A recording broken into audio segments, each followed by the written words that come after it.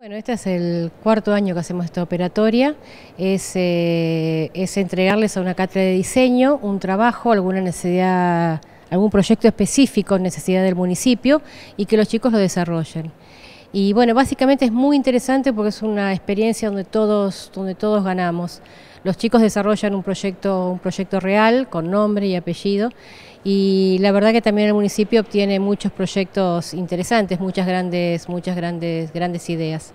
Se está trabajando sobre un hecho real y una necesidad real y que de alguna manera, quien sabe, algunas de esas ideas de los estudiantes pueden ser tomadas eh, por el municipio y llevadas en algún momento en el futuro inmediato eh, adelante.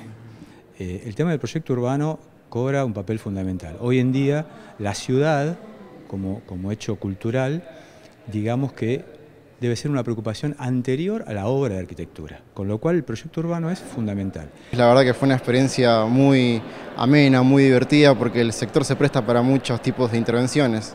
Fue un desafío, porque la verdad que era un sector muy grande. Eh, es la primera vez que hacemos un proyecto por ahí así, porque por lo general son proyectos arquitectónicos de no una manzana y este era un gran sector de varias, varias manzanas.